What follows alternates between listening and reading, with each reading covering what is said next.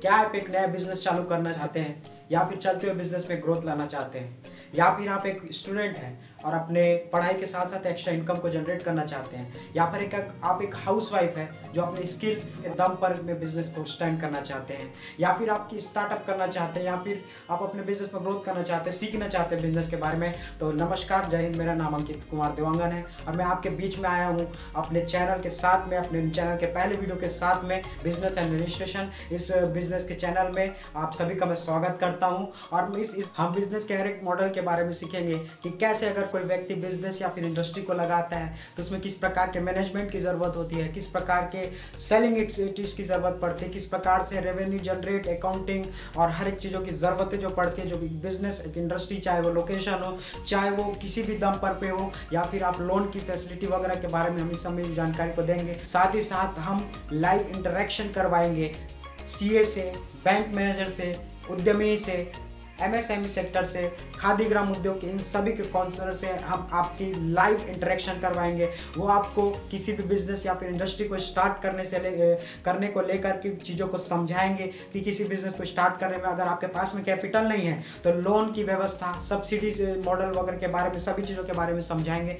साथ ही साथ हम अपने बिज़नेस अपने इस चैनल पे बिज़नेस को प्रमोट करेंगे इंडस्ट्रीज़ को प्रमोट करेंगे स्टार्टअप्स को प्रमोट करेंगे। ये चैनल के माध्यम से अगर आप एक व्यापारी या फिर एक दुकानदार हैं, या फिर आप एक होलसेलर या फिर डिस्ट्रीब्यूटर है, या फिर आप रिटेलर हैं, या फिर आप एक मैन्युफैक्चरर हैं, आपके पास में मैन्युफैक्चरिंग यूनिट है, आप एक प्रोडक्ट मैन्युफैक्चरर हैं तो आप इस चैनल के माध्यम से अपने प्रोडक्ट्स को प्रमोट कर सकते हैं, अपने बिज़नेस को प्रमोट कर सकते हैं। इन सभी चीज़ों के बारे में हम आगे आगे आगे की आने वाली वीडियो में इन सभी चीज़ों के बारे में बात करेंगे। जैसे बिज़नेस ग्रोथ के बारे में बात करेंगे। अगर आपका बिज़नेस दस साल से चल रहा है तो उसको कैसे हम ग्रोथ कर सकते हैं? लॉकडाउन के बाद से बहुत सारे बिज़नेस में ग्रोथ में बहुत ही धीमा रफ्तार से बढ़ रहा है। इन सभी चीज़ों के बारे में बात करेंगे। ग्रोथ चार चीज़ों के ऊपर डिपेंड करता है। अगर आपके पास में अच्छी मार्केटिंग स्किल है, आपके पास में रिपीट कस्टमर है, आपके पास में बिज़नेस का अच्छी फाइनेंस है, और आप, तभी आपके बिज़नेस का एक्सपेंस होगा, तभी आपके बिज़नेस का ग्रोथ होगा। आपका सेल्स रेवेन्यू अच्छा है,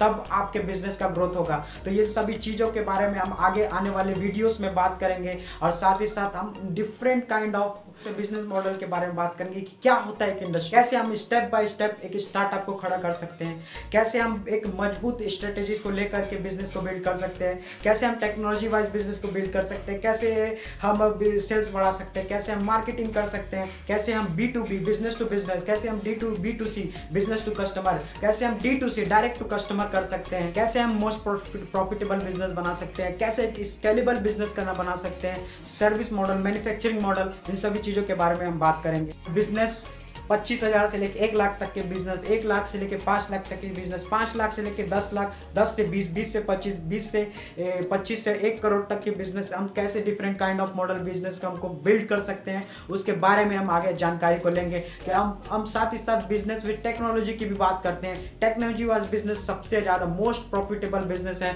सबसे जल्दी ग्रो करने वाला बिज़नेस जो होता है वो एक बिज़नेस विद टेक्नोलॉजी होता है, उसको बिज टेक बोला जाता है। बिज टेक में हमारे पास में सबसे बड़ा अच्छा मॉडल है, हमारे पास में मोबाइल है कंप्यूटर ये सब टेक्नोलॉजी वाइज बिज़नेस है। टीसीएस जो कंपनी है, उसकी जो रेवेन्यू है, वो पाकिस्तान के स्टॉक मार्केट एक्सचेंज के रेवेन्यू से भी ज़्यादा है। बहुत सारे देशों की जीडीपी से भी ज़्यादा उसका रेवेन्यू है। ये हम इस चीज़ के बारे में समझेंगे आगे। कंपनी बहुत सारी एग्ज़ाम्पल है फिनटेक मतलब कि finance with technology finance with technology की बहुत सारी हम हम दैनिक जीवन में उसको उपयोग करते हैं। Paytm PhonePe Google Pay N bank loan insurance वगैरह की जितने भी कंपनी है सब फिनटेक के अंदर में आती है। एजुकेशन एजुकेशन विद टेक्नोलॉजी एक टेक की कंपनी बहुत सारी है. एक टेक कंपनी में बायजूस है वेदांतु है वे टाटा स्टडी ऐसे बहुत सारे धीरे धीरे आगे बढ़ रहे बहुत सारी चीज़ें फ़ूड टेक इंडस्ट्री में आप, हम डेली यूज़ करते हैं. आजकल हर शहरों में सब ये मॉडल आ चुका है स्विगी जोमेटो से लेके ऑनलाइन फ़ूड ऑर्डर तक ये सब टेक्नोलॉजी वाइज बिज़नेस है. इसको हम कैसे बिल्ड कर सकते हैं? कैसे हम ऐप मॉडल में जा सकते हैं? कैसे हम फ्रेंचाइजी ऐप मॉडल में जा सकते हैं? कैसे हम वेबसाइट के थ्रू अपने बहुत सारे जो फ्लिपकार्ट है अमेजोन है, उन सब में कैसे जा सकते हैं, इन सभी चीज़ों के बारे में हम आगे डिस्कस करेंगे हम कनेक्शन कैसे बिल्ड कर सकते हैं, इसके बारे में देखेंगे। कनेक्शन जो होता है, एक चीज़ों को दो, दूसरे चीज़ से जोड़ना होता है। कनेक्शन मतलब कि अगर आप एक मैन्युफैक्चरर हैं तो उसको डिस्ट्रीब्यूटर से जोड़ना। अगर डिस्ट्रीब्यूटर है तो उसको रिटेलर या फिर होलसेलर से जोड़ना। होलसेलर है तो उसको नॉर्मल शॉपकीपर से जोड़ना और अगर आपका नॉर्मल शॉप है तो उसको एक कस्टमर से जोड़ना। ये होता है कनेक्शन कनेक्शन हम कैसे स्ट्रॉन्ग कनेक्शन हम कैसे बिल्ड करें, कर कर सकते इसके बारे में हम आगे बात करेंगे। एक कनेक्शन और डिस्ट्रीब्यूशन दोनों बहुत इंपॉर्टेंट चीज़ होता है। अगर एग्ज़ाम्पल के तौर पर हम देखेंगे। अगर एक राइस मिल है। राइस मिल के बिज़नेस में इसका कच्चा माल होता है धान। धान जो है, खेत से आता है। खेत में अगर चावल लेट से उगेगा या फिर हो सकता है बारिश के कारण फ़सल बर्बाद हुआ हो या फिर कोई भी ऐसी समस्या हो सकती है आ, हो सकता है किसान के पास में लाने के लॉजिस्टिकल प्रॉब्लम के कारण में लेट हो गया हो। तो अगर वो लेट से पहुँच रहा है फिर उस चीज़ पर बर्बाद हो रहा है तो उसका ऑटोमेटिकली वही रेट बढ़ जाएगा। वो रेट अगर मैन्युफैक्चर के पास में आएँगे राइस मिलर के पास में आएँगे तो प्रोसेसिंग यूनिट में वो पैडी हो सकता है चाहे उसना हो चाहे अरबा उसमें प्रोसेस प्रोसेसिंग में बहुत सारी चीज़ें लग जाएँगी और उसके कारण से वो वहीं से रेट बढ़ करके वो डिस्ट्रीब्यूटर के पास में जाएगा। उसके बीच में टाइम बढ़ने के कारण रेट बढ़ने के कारण ही बहुत और लॉजिस्टिकल सपोर्ट कम मिलने के कारण ही पहले ही बहुत उसके रेट में बहुत असर पड़ चुका होगा। उसके बाद से रिटेलर के पास में होलसेलर के पास में नॉर्मल शॉप के पास में पहुँचने तक के बहुत सारे एक्सपेंस उसमें जुड़ जाएँगे और वो प्रोडक्ट बहुत महँगा होगा। उसका डायरेक्ट ही कनेक्शन हमारे जेबों में पड़ सकता है। इसके बारे में सीखेंगे कि इसको हम और कैसे अच्छे तरीके से बिल्ड करेंगे, इसको हम एक्सपर्ट के माध्यम से सीखेंगे, इसके, इसको हम और जो इस इंडस्ट्री से रिलेटेड है, उन सभी लोगों के बारे में सीखेंगे क्या और कौन सी कौन सी अच्छी टेक्नोलॉजी को यूज़ करके और अच्छी कौन सी रणनीति को यूज़ करके हम इसको रिड्यूस कर सकेंगे। साथ ही साथ साथ हमारे बिज़नेस में का दूसरा नाम है लेजिस्लेशन लेजिस्लेशन का मतलब होता है कानून। लॉ के बारे में भी आगे हम देखेंगे। लॉ के से रिलेटेड लोगों से हम मिलेंगे और उनके बाद में हम एडवोकेट के माध्यम से मजिस्ट्रेट के माध्यम से सीखेंगे। हम जज के, हो सके तो हम जज के माध्यम से भी बहुत सारी चीज़ों को सीखेंगे। और हम इसमें I P C C R P C constitution of India transfer act family law हम हर एक चीज़ों के बारे में कंप्लीट आगे आने वाले वीडियोस में सीखेंगे। हम आगे वीडियो में आप बता सकते हैं कमेंट्स में बता सकते हैं हम आगे वीडियो किस चीज़ के बारे में, हम सोच रहे हैं कि हम फ़ूड इंडस्ट्री के बारे में बताएँगे।